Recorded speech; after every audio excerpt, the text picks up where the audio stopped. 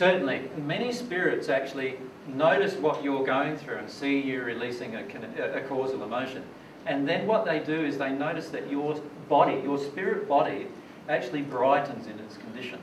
So that, that more light comes from your spirit body. They actually see you more brightly. Now, if they knew, and many times there are spirits around them trying to tell them this, that a link, there's a linkage between the brightness of the body and the emotion existing within the soul.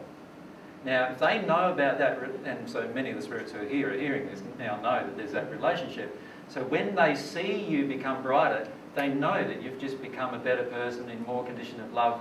And so they have learned already, just from you, how to actually do that themselves. Now, whether they choose to do that themselves is a totally another matter.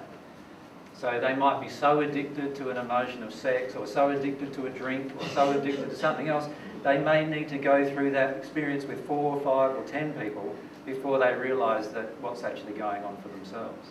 Does that make sense? So they still have free will, but it certainly does have an impact on them in that it gives them an experience of what it means to release an emotion and get into a better condition of love.